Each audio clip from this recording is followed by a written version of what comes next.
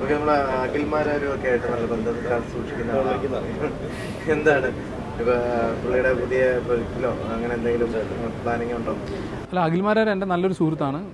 പുള്ളി ഈ പറഞ്ഞ പോലെ ബിഗ് ബോസിൽ പോകുന്നതിന്റെ തലേ ദിവസം വരെ ഞങ്ങൾ ഒരുമിച്ചുണ്ടായിരുന്നതാണ്. പക്ഷെ പോയി വന്നതിന് ശേഷം ഈ പറഞ്ഞ പോലെ അധികം കോണ്ടാക്റ്റ് ഇല്ല. സത്യം പറഞ്ഞാൽ പുള്ളിയും ഭയങ്കര തിരക്കാണ്. കാണണമെങ്കിലൊക്കെ ഇപ്പോൾ ഭയങ്കര ബുദ്ധിമുട്ടാണ്. അപ്പോൾ പുള്ളി വളർന്ന് മുന്നോട്ട് പോകുന്നതിൽ നമുക്ക് ഒരുപാട് സന്തോഷം. പിന്നെ എനിക്ക് തോന്നിയിട്ടുണ്ട് ഈ ആവശ്യമില്ലാത്ത കുറേ എല്ലാ സാധനത്തിനകത്തും തലയിട്ടിങ്ങനെ ഒരു കണ്ടന്റ് എവിടെ നോക്കിക്കഴിഞ്ഞാലും എന്തിനെക്കുറിച്ചും ഇങ്ങനെ സംസാരിക്കുന്ന ഒരു പ്രകൃതം ഇച്ചിരി ഒഴിവാക്കിയാൽ കൊള്ളാൻ തോന്നിയിട്ടുണ്ട്. കാരണം ഞാൻ കണ്ടിട്ടുള്ള അഖിൽമാരൻ അങ്ങനല്ല.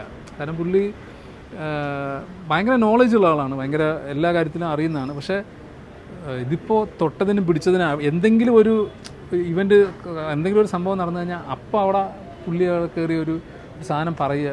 ഒരുപക്ഷെ ഇപ്പം പ്രേക്ഷകരൊക്കെ ഇപ്പൊ ഇങ്ങനെയുള്ള താരങ്ങളുടെ അതായത് ഇപ്പം വലിയ സ്റ്റാർസുകളുടെ ആണെങ്കിലും അതുപോലെ തന്നെ ഇപ്പം ഇതുപോലെ അഖിൽമാരെ പോലുള്ള കുറച്ച് പേരുടെ അഭിപ്രായങ്ങളെ നോക്കി ഇരിക്കുന്ന ഒരു സിറ്റുവേഷൻ ഉണ്ട്. എന്ത് പ്രശ്നം വന്നാലും ഇന്ന ആളെന്ത് പറഞ്ഞു എന്ന് ചിന്തിക്കുന്ന ഒരു സോഷ്യൽ മീഡിയയിലൊക്കെ തെരഞ്ഞുകൊണ്ടിരിക്കുന്ന ഒരു സമയമാണ്. അപ്പൊ അതുകൊണ്ടും ആയിരിക്കില്ലേ കുറെയൊക്കെ അവർ പ്രതികരിച്ചു പോകുന്നത്? ഇതിന് ഞാനൊരു ഉദാഹരണം പറയാം. നമ്മുടെ അയൽവക്കത്ത് അവർ നല്ലൊരു മീൻകറി വയ്ക്കുകയാണെന്നുണ്ടെങ്കിൽ നമ്മൾ ഇങ്ങനെ മണത്തിട്ട് ആ അവിടെ നിന്ന് മീൻകറിയാന്ന് പറയുള്ളൂ.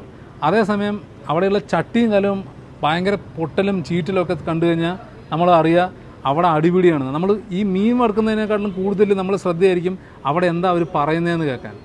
അത്രയേ ഉള്ളൂ.